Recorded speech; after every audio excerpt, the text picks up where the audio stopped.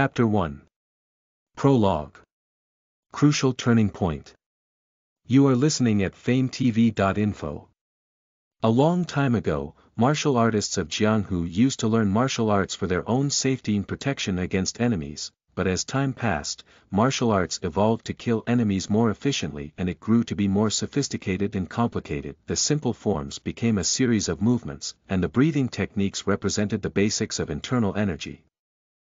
Martial artists left heirlooms to the future generations with books and teachings of what they learned, allowing martial arts to evolve. Martial artists were soon the ones who were more powerful than normal humans as they could run through the trees like the wind, crush stones with their fists, and cut down trees the swing of a sword. They were soon called the people of Wulin. However, martial artists wanted to become more powerful and they gathered to form clans, those who wanted justice and honor called themselves the force of justice, and the ones who did not care about using violence and cruelty were called the force of evil and there were those who sought an entirely different route, seeking only strength. They were called the demonic cult. The current Wulin was in a tight competition between the three forces.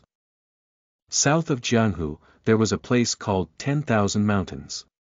It was filled with tons of mountain peaks that spread vastly over the land, and this place was forbidden that it was because this place was the home of the demonic cult that I in a deep forest far from the castle of the demonic cult, a boy who looked to be in his teens was running for his life, UGH. The boy was exhausted and heavily panting. His clothes were ripped and his face was full of bruises, showing that he had gone through a severe beating before he had escaped. Damn it. The boy spat, as he saw five masked men waiting to capture him. He had run so hard for the last 30 minutes, but it seemed he couldn't get away F CK. The boy held on his trembling legs and glared at masked men. Their faces were covered, but it was easy to see that they all were smirking, you did well in running all the way here. Prince Chun. Ha! I almost fell asleep while waiting for you. The boy frowned. If they had been waiting for him here, then there was no point for him to continue running in this direction, the masked men all pulled out their swords from their backs. Their eyes were filled with the intention to kill the boy, what should I do, it was his life that they wanted. It didn't seem like talking to them would work. He had used all of his internal energy to run here, so he had no energy left to run or fight. But even with his death waiting for him, his eyes were filled with anger rather than fear. Why? I gave up on joining the academy already. Why do you want to kill me? Prince, you surely know that all of that doesn't matter. The boy was at a loss for words. He had expected this day to come ever since he was very young, but he didn't expect it would come even before he joined the academy. As long as you have the right to the throne, it is your destiny. The other masked men began making comments also, surrender, and we will make this quick. Even if you have peasant blood, we will not dishonor the blood of our Lord. The boy then became filled with anger. The word he hated the most were the words that insulted his mother, damn bastards, if he was going to die anyway, he might as well try to fight back. He pulled out a dagger. He had never learned martial arts, however. All he knew was whatever he observed from watching his guard, warrior Jiang. Hmm. A dagger. Did you learn something from Jiang? Sadly, he didn't. If he really did learn it, the skill would have been very useful here. Crude. But your blood speaks it for itself, that you do not cower away at your death. The masked men seemed to be very happy, it was better for them to kill someone who would not give up than someone who would beg, kill him. One of the men gave the order and the other four attacked the boy at once.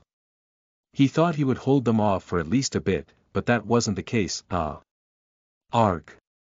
One of the masked men used his sword hit to strike the boy's wrist and he dropped the dagger to the ground. His face grimaced and he glared at the masked man, but the man grabbed the boy's neck, Arg, is it over? The boy's face turned red, but his eyes had not given up YET.AT that moment, another man shouted, watch out. What? The dagger. A dagger stabbed the man's chin. The boy had been hiding another dagger, and the attack killed the masked man at once, what? A mere boy without any martial arts training killed one of my fighters, the leader of the masked men who was watching became intrigued. It seemed like the boy was aiming for this from the beginning, damn kid. Get him. Another man charged in and kicked the boy, swinging his sword down the boy's stomach, ARGH. The boy had never felt such pain in his life. A searing pain shot up from his stomach and blood soared up from his throat, damn it, so it didn't work twice, but killing at least one of them made him feel better.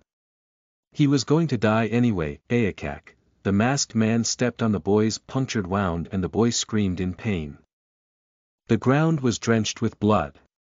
The man could have killed the boy at once, but he seemed to be giving the boy as much pain as possible, slowly. I will give you a slow death. The leader didn't seem to like what was happening, but he couldn't stop him since it was for the revenge of his teammate. Suddenly, a bright light shined as if a lightning bolt had struck. When the light disappeared, the masked men's eyes turned in shock, W. What? Blood sprayed up like a fountain. The masked man who had been stomping on the boy had lost the entire top half of his body where the blood was spurting upwards, W. What? The boy also was in shock. If he wasn't wrong, some white light streak had zapped the man and his body melted away, it's him. The leader pointed to a certain direction in shock, and there was a strange man with weird clothing. The man then disappeared, huh? It wasn't through any movement skill. It was as if he had turned invisible so that he could not be seen, another light then struck another man, killing him also. The only ones left were the leader and the remaining masked man, someone is helping him, the white light. Is it a beam if it wasn't an energy beam that was said to be used by highly skilled warriors, there wasn't anything like it that could instantly melt a human, the boy had lost a lot of blood, so he would die anyway, we did what we needed. We should retreat, the leader tried to send a signal for his man to fall back, but he was then struck with another streak of lightning and he disappeared also, AARGH. The man screamed in panic and tried to run, but he too was struck by the lightning. After all the men were killed, the boy smiled and chuckled, ha, farewell bastards. Then, a strangely dot clothed man revealed himself in front of the boy. He wanted to scream in shock but he had no energy to do so. Whoa. So, my ancestor feels better even when you're about to die.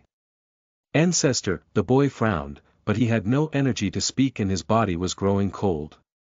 He had lost too much blood, am I going to die now? That's when he heard a weird beeping sound.